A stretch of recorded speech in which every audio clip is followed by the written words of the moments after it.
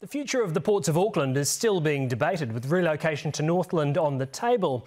Any move is still some years away, and in the meantime, the busy port in the Waitemata Harbour has created what it believes is a unique site, combining floors of cement with an abundance of nature. Ashley Yates explains. The beginning of a green oasis in the heart of a concrete jungle. This living, breathing wall is at the ports of Auckland and claimed to be a world first. This hasn't been done anywhere else. Uh, as far as I know, there's nowhere inside a port boundary in the world that has this sort of feature. The unique thing about this garden is that it is soil-based. The rest of the big structure gardens that you see around the world are hydroponic, meaning that they are planted in an inert medium, no soil. It's the leafy exterior of a giant parking lot.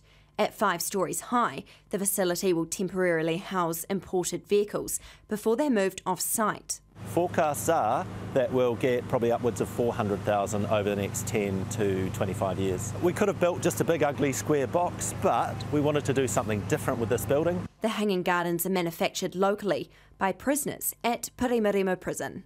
Well, they're using um, stainless components, anything from stainless wire to using milling, milling machines and, and assembly of, of those components to to construct the hanging gardens. The intricate design constructed over eight months. Men in our care uh, just have embraced that actually. They learn lots of skills from their time in the workshop here and yeah, it's really positive. It's good therapy for them. Built into the structure, a sensor controlled irrigation system to water around 3,800 plants, mainly New Zealand natives. The plants specially chosen so they don't attract insects and other pests. Each pocket has a little dripper above it, and so for about two minutes a day, we just drip into each pocket, and that is sufficient for the plants to survive and thrive. A light sculpture is also being added and eventually a public park on the building's rooftop. It may be a grand car park design,